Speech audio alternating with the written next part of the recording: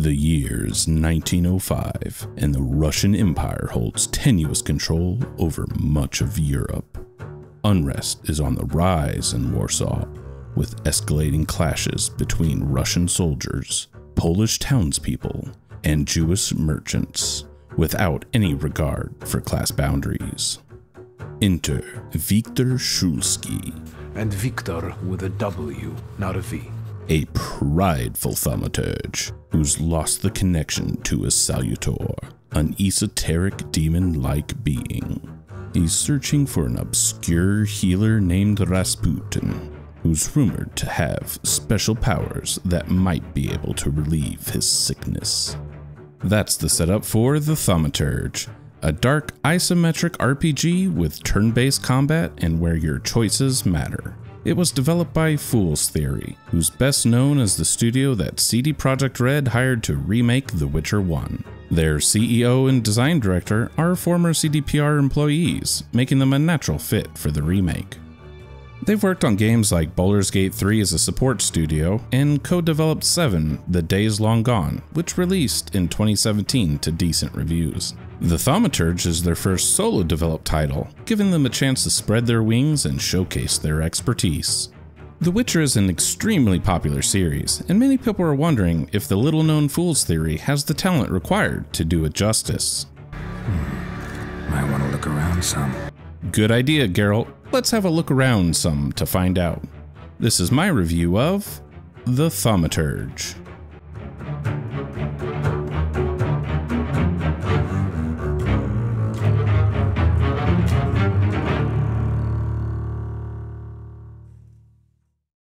I'll minimize spoilers in this review, but there will be some minor spoilers of the prologue, which is roughly the first 60 to 90 minutes of the game.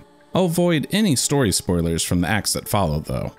In the Thaumaturge, you play as Wiktor Szulski, the titular Thaumaturge. Thaumaturges are people who can see salutors and sense feelings or stories imprinted on everyday objects. Salutors are basically demons. They feed on people's flaws and can be found out in the wild, but as a thaumaturge, Wiktor has the ability to tame and control them. Or at least he used to. He's traveled to a small village seeking a healer named Rasputin that might be able to help him. Thankfully, the rumors were true and he's quickly able to heal Wiktor. Thaumaturges can do more than just control salutors, though. They're also excellent detectives. Naturally, their power to read objects comes in handy here. Using this power, Wiktor investigates why the villagers are acting so aggressively. After the mystery is solved, Wiktor learns that his estranged father has died. He decides to head to Warsaw for the funeral, ending the prologue. Once in Warsaw, the other major plots kick off. Warsaw is a city in turmoil under the rule of the Russian Empire. There are Polish resistance groups trying to reclaim the city. Your father, also a thaumaturge, died when a building mysteriously collapsed. Meanwhile, Rasputin has proven to be an effective ally, but his intentions in Warsaw are a mystery. These major story threads progress and intersect in compelling ways to tell a story that kept me engaged throughout. Most characters in the game are merely decent, but a few do stand out. The mysterious Rasputin is an intriguing character and is based on a historically significant person. Wiktor's childhood friend, Aboritsi, is a dynamic and fun character that stands apart from the rest of the largely serious cast. There are a few others that are interesting as well, but most are fairly one dimensional. I wish that the most interesting characters had more screen time though, even if it came at the cost of cutting some of the others. A core feature that ties into this story is the Choices Matters conversation system, especially the development of Wiktor's flaw, pride. During conversations, you'll often have an option to respond pridefully, rather than backing down or being more rational. Each time you respond with pride, you feed your flaw and become even more proud. This unlocks conversation options that are only available if you have enough pride built up. Conversely, as Wiktor's pride grows, you'll be locked out of some replies because he's just too proud to say them. If it builds up enough, some decisions will actually be made for you. I found this to be an interesting twist on the standard choices matter dialogue system that's used by most games. Like those games, it locks you out of conversation options based on your choices, except it doesn't show you what the blocked options are, just that you can't choose them due to your choices or pride level. I would have preferred knowing what the blocked dialogue was, but ultimately it's only a minor quibble. The consequences of your choices usually aren't very clear or immediate, but some show up in a big way in the final act. As I got closer to the end of the game, I had a strong feeling that some of my choices would come back to bite me in the ass. I was not disappointed. Just like I wouldn't be disappointed if you hit that subscribe button if you're enjoying this review. I'd greatly appreciate it. Questing in the Thaumaturge has three different tiers main quests, side quests, and urban secrets. Main quests are the story missions that follow the major plot threads. You typically won't have more than a few at a time, but these are the quests that progress the story. They're mandatory, but are generally the best quests, so you'll want to do them anyways. If you want to do everything in the game, save the main quests for last, since they'll progress the story which can lock you out of other missions. Side quests are generally smaller stories that aren't tied to the main plot. They can be interesting and have significant rewards though, including optional salutors. I highly recommend doing these for both the rewards and the stories. Urban secrets are mostly just busy work. You'll do things like look at a scenic view, find hidden businesses that give you a collectible drawing, or unlocking new clothing options. They usually involve running around the city, having a look around some, I'm going to take a look around. and collecting things that have little to no story relevance.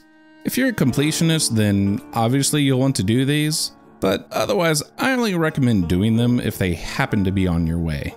While each individual task is short, with how many there are, doing them was very time consuming and mostly uninteresting to me. The method to progress quests usually involves detective work and combat. You'll use your perception ability to find clues, which lead to making conclusions and advancing the quest. For example, you discover that somebody is thinking about running away while packing a travel chest. By combining that information with other clues, you learn her fears and confront her about what you learned. This helps convince her to spill important information needed to progress the quest. Combat in the Thaumaturge is turn-based and reminiscent of JRPGs. You fight alongside your Salutors, but only one Salutor can act per turn. You can freely switch between Salutors every turn without any penalties. Each combat action has a speed of either normal, slow, or very slow, meaning they take one, two, or three turns to execute. More powerful abilities generally take longer. Some abilities can delay or even cancel enemy actions. There are direct damage attacks, damage over time abilities, and ultimate skills.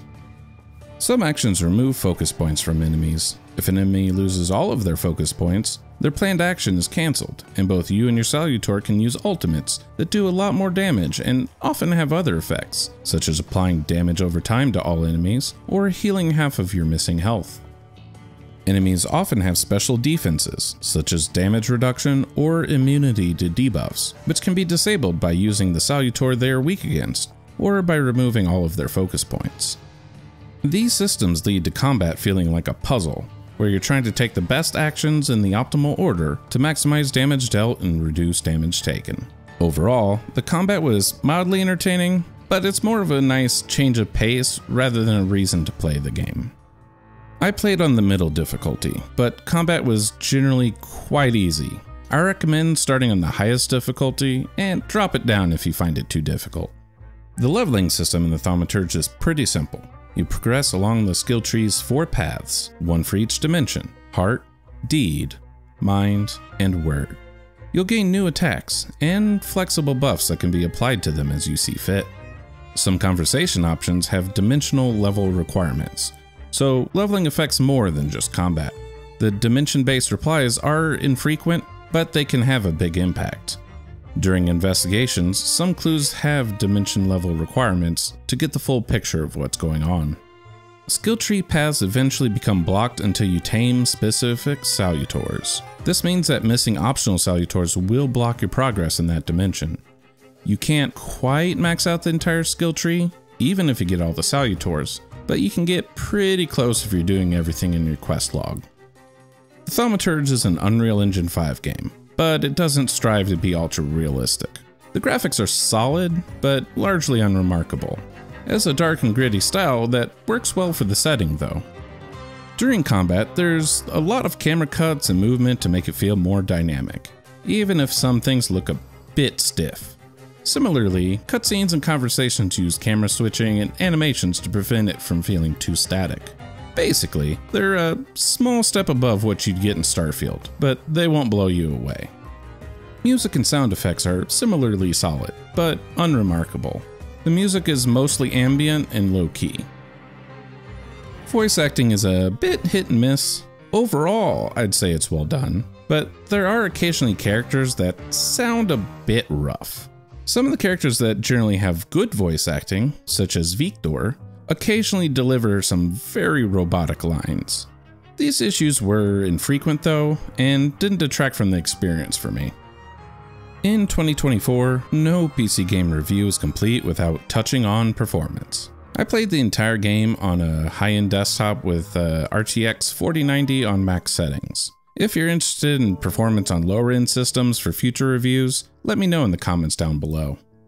I haven't done thorough benchmarking, but I'm happy to report that I didn't have any noticeable performance or stuttering issues while playing in 4K. I started playing in DLSS quality mode, but after seeing some Halo artifacts and fuzziness around characters, I decided to turn it off. That didn't solve the issue, but it seemed to make it less frequent. I found that the most difficult area to render was Powiśle while it was raining. As you can see on screen now, it can sometimes dip into the 50s here. In other outdoor areas, it would consistently be in the mid 80s to lower 90s, even in crowded areas. Indoors, the FPS was even higher. Keep in mind that the numbers you're seeing on screen were while capturing gameplay footage. When I wasn't recording, the FPS was maybe about 3 to 7 frames higher than that. Unlike games like Starfield, loading screens were mercifully short and infrequent. The Thaumaturge is listed as unsupported on the Steam Deck due to performance but it includes a Steam Deck graphics preset, and I found it to be playable in my brief testing. I don't have any capture footage from the Steam Deck, but if that's something you'd like to see in future reviews, let me know in the comments down below. What you're seeing on screen now is an approximation of Steam Deck graphics, but running at a higher FPS on my desktop. On my Steam Deck, I once again ran through Rainy Powiśle, while using the Steam Deck graphics preset and FSR quality mode, my FPS was in the mid 30s and lower 40s. Lower FSR scaling options had little impact. It's not ideal, but it's the most difficult area to render, and it's a turn-based game so FPS isn't as important. Turning on FrameGen enabled me to get into the 50s and even hit 60 sometimes in the same area. The graphics quality takes a hit from all this tweaking though, if you can stand the blurriness and pixelation, it could provide a smooth experience on the small screen. I personally wouldn't want to play the whole game on the Steam Deck, but it works as a supplement to a gaming PC, or if you set your expectations appropriately. If you're okay with 30 FPS, you can get a clearer image by turning off FSR entirely. I experienced a number of small bugs while playing. The most obvious one was that tutorials usually displayed as solid black, rather than the animated demonstrations that were intended. This was supposed to have been fixed in a patch, but the issue persists for me even if I start a new game. Occasionally, loose clothing would fling around when the camera switched, a fairly common issue in many games. The voice lines and subtitles didn't always match, especially once I got to Act 2 and beyond. Recent patches claim to have fixed or at least improved this, but I already finished the game so I can't really confirm it. One of the quests would only work if you started the conversation at night, despite being available at any time of the day. That was fixed in a patch. When I first loaded the game on my Steam Deck, it defaulted to the Polish language for some reason, even though I'd already played it in English on my desktop. If you run into this issue, pick the fourth option on the main menu, switch to the second tab, change the first option to English, then apply the settings. Overall, the bugs I experienced were pretty minor, and many have been fixed in recent patches. You don't need to wait a year to play this one, unlike far too many other games released in recent years. The settings menu is decent for a AA release. It doesn't include some niceties like VRAM estimates, detailed descriptions, or an image preview, but there are plenty of options including DLSS, FSR, XESS, frame generation, and ultrawide support. One major complaint though is that the D-pad inexplicably doesn't work in the settings menu. This makes changing settings via controller frustrating, because it's very easy to unintentionally change them as you move up and down with the analog stick. The Thaumaturge is an entertaining 15 to 35 hours of intrigue and slapping people around with demons. It's not going to win any Game of the Year awards, but it's also only $35. I feel like I got my money's worth, and have no hesitation in recommending it if you're still interested after watching this review. That brings us back to the question Do they have what it takes to remake The Witcher 1? Personally, I'm cautiously optimistic. I wouldn't say this game fully proves it, but I like a lot of what I see.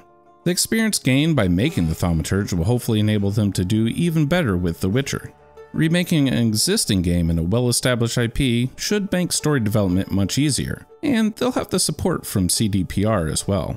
I'll definitely want to take a look around some when it comes out. Hmm. I want to look around some. I'm going to take a look around. I would also welcome a sequel to the Thaumaturge at some point down the line. They've built an interesting world, and I believe they could either continue the story or explore other historical events. I think Vikings in particular are fertile ground for thaumaturges and salutors. Have you played the thaumaturge? What are your opinions on it? Let me know in the comments below the like button. If you're craving more single player PC gaming content, here's another video you might enjoy. Thanks for tuning in. Until next time, this is Podosniper, logging out.